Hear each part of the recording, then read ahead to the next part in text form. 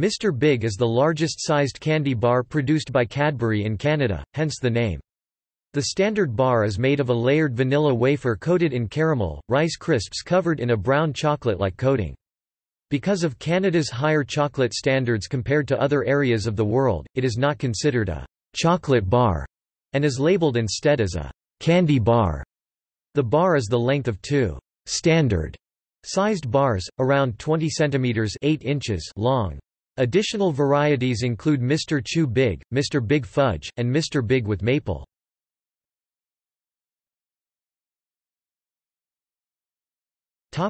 Market and marketing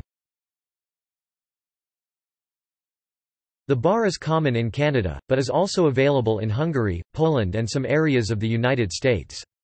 A Canadian advertising campaign in the 1970s included the tagline, Mr. Big, so big they call him Mr. The product launched in the U.S. in 1995, and the launch included an advertising campaign with the basketball player Shaquille O'Neal. A miniature Mr. Big candy bar is manufactured and marketed for the Halloween season.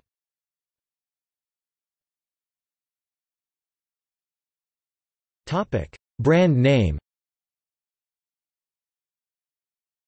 The Mr. Big brand name was originally owned by Nestlé and licensed by William Neilson now Cadbury. This created the situation where the trademark of one of Neilson's largest brands was owned by its largest competitor.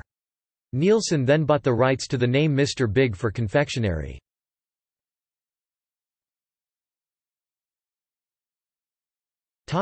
Ice cream Mr. Big is the only Cadbury candy bar to have an ice cream variant made by Nestlé. It was discontinued in May 2002 in the UK due to poor sales. An ice cream bar version produced by Nestlé is available in Canada, although other Cadbury ice cream products are made by Breyers.